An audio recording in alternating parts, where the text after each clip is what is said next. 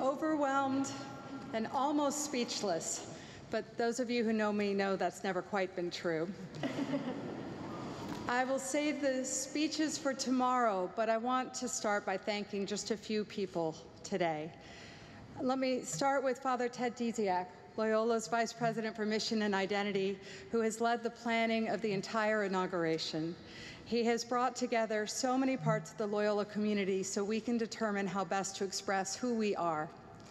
And he did it with the unstoppable help of Angela Turnbull, our extraordinary event coordinator.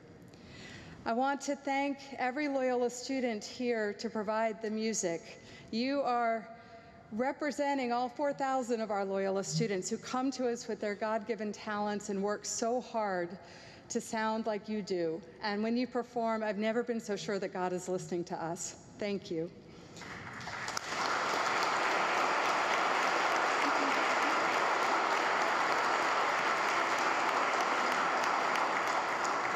and for Meg Frazier, Jean Montès, and Ken Weber for um, bringing them together. For Father Mercier, thank you so much for your wisdom and your steady counsel and for being here with us today. To all of the Jesuits, whose institution this is and will always remain, I cannot express how humbled I am that you have placed your trust in me and how hard I will work to deserve it. And to my beloved Uncle Joe, you baptized me in this church 47 years ago. You married Gordon and I in the Jesuit church downtown.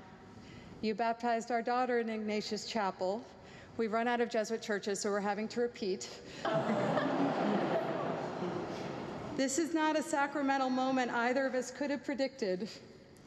But if I can be half the person you are, Loyola will be in very good shape. Thank you.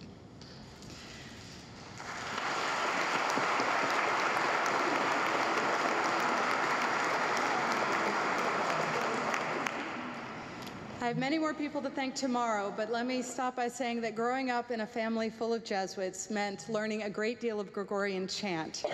And there is one piece of music the Jesuits have been singing for 500 years and that they all know by heart.